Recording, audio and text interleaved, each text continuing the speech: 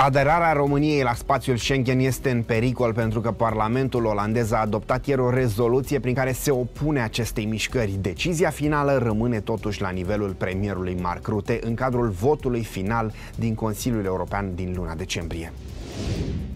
Argumentele invocate de parlamentarii batavi pentru a nu accepta aderarea României și Bulgariei în Schengen sunt legate de corupția persistentă și problemele persistente legate de crima organizată. Aderarea unui stat la Schengen se face doar cu un vot în unanimitate, astfel fiecare țară are drept de veto. Votul de ieri de la Haga vine după ce marți toți europarlamentarii din partidul premierului olandez Mark Rutte s-au abținut la votul rezoluției din Parlamentul European pentru sprijinirea aderării României și Bulgariei la Schengen. Din păcate este foarte puțin probabil ca Mark Rutte să voteze favorabil în decembrie, pentru că însăși coaliția lui din Parlamentul olandez este foarte, foarte subțire, motiv pentru care libertatea lui de a lua decizii împotriva voinței Parlamentului este extrem de mică. 9 luni de zile i-au trebuit anul trecut lui Rutte pentru a forma o coaliție care să guverneze țările de jos și toate deciziile luate la nivel guvernamental au fost adoptate pentru a evita destrămarea ei.